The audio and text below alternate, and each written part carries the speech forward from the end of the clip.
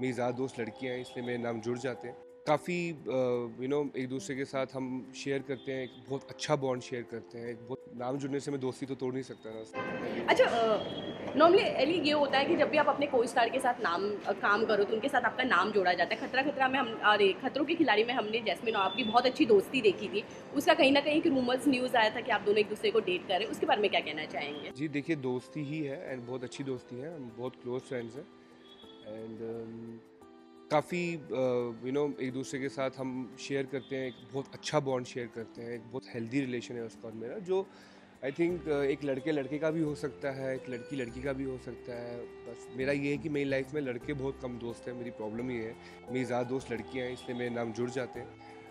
And I think ठीक है, अगर अब नाम जुड़ने से मैं दोस्ती तो तोड़ नहीं सकता ना तो दोस्त तो रहेंगे, दोस्त हैं मेरे।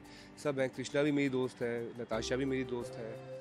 जैस्मी भी मेरी दोस्त है तो सब मेरे आज भी दोस्त हैं। तब भी थे एंड अभी भी हैं।